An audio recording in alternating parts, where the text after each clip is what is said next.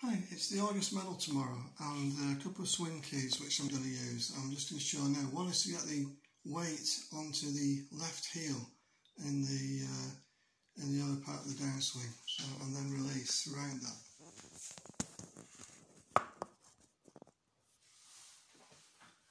So what are keys? I'm going to turn, nice, nice turn, kind of maintain the triangle get its right shoulder back and drop it. And the third one is get the weight on the left heel.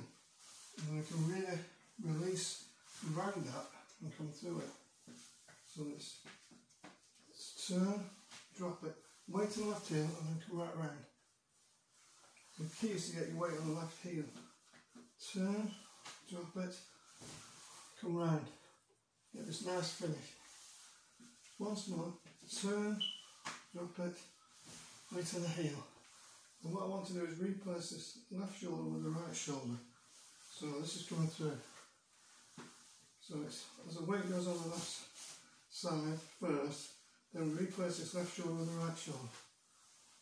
So it's a nice move. Just turn, drop it, and release. That's it.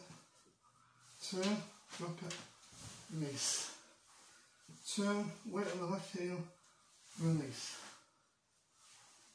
Turn, weight on the left heel, we drop it, release. Get this right shoulder replacing the left. Get this right elbow facing the target. Turn, drop it, release. that's the way to do it. Turn, drop it, release. A very good shot.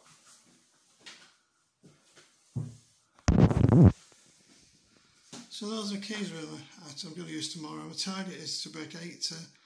I've only brought an 80 once this season. I should have brought an 80 three times. I've made a total box of the uh, last nine a couple of times. Run out of energy last week. So I'm going to try and keep hydrated. I'm going to try and keep my energy levels up. So bedtime now and let's hope for good things tomorrow. I'm sure I can do it. I'm confident. Good luck.